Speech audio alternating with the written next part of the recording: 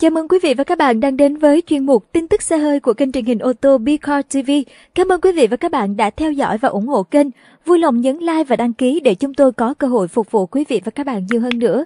Sau đây, xin mời quý vị cùng theo dõi tiếp chương trình. Toyota Avanza 2019 về đại lý ở Việt Nam, sức ép mới cho Mitsubishi Xpander và Suzuki Ertiga. Lô hàng Toyota Avanza 2019 đầu tiên đã về tới Việt Nam và nằm trong một kho chứa xe của một đại lý – sự xuất hiện của Avanza 2019 đã được giới tư vấn bán hàng nhắc tới từ lâu, chỉ sau chưa đầy một năm phiên bản hiện hành ra mắt. Xe nhập khẩu từ Indonesia thuộc phân khúc MPV cỡ nhỏ, cạnh tranh với Mitsubishi Xpander và Mitsubishi Ertiga, giá bán chưa được tiết lộ.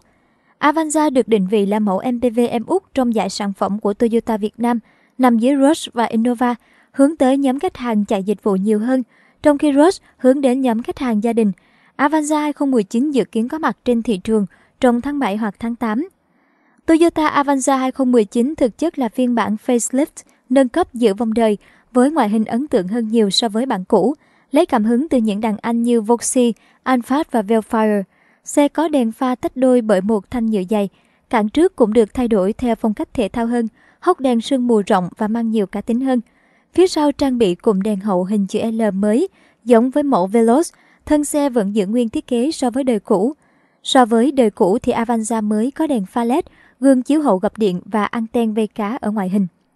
Khoang cabin không khác nhiều so với Avanza đời cũ vì chỉ được điều chỉnh lại một số chi tiết nhỏ.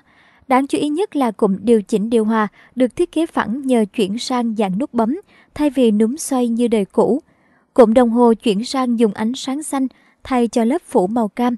Hệ thống âm thanh 6 loa thay vì 4 loa như đời trước – Động cơ không thay đổi, vẫn là tùy chọn động cơ 1.3 lít hoặc 1.5 lít giống như trước đây, nhưng công suất của động cơ 1.3 lít được nâng lên là 97, trong khi đó động cơ 1.5 lít cho công suất 104 PS.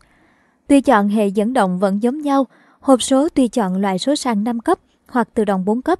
Ở biến thể cao cấp tại thị trường Indo, Toyota Avanza 2019 còn có thêm tùy chọn gương điều chỉnh điện, và nút bấm khởi động Start Stop Engine. Ở Indonesia, xe có giá bán từ 13.500 đô tới 15.620 đô, tương ứng với 5 biến thể khác nhau. Avanza phiên bản hiện tại ở Việt Nam có giá bán 537 triệu đồng đối với bản 1.3 MT và 593 triệu đồng đối với bản 1.5 AT. Tuy vậy, doanh số của Toyota Avanza chỉ đạt 376 chiếc trong 6 tháng đầu 2019, bị Mitsubishi Spander bỏ xa sự xuất hiện của phiên bản mới được hy vọng sẽ cải thiện tình hình ảm đạm của mẫu xe này trên thị trường. Trên đây là toàn bộ nội dung chính trong chuyên mục tin tức xe hơi của kênh truyền hình ô tô Bicar TV. Cảm ơn quý vị và các bạn đã chú ý đón xem. Mr. Ben, mang xe hơi đến mọi gia đình.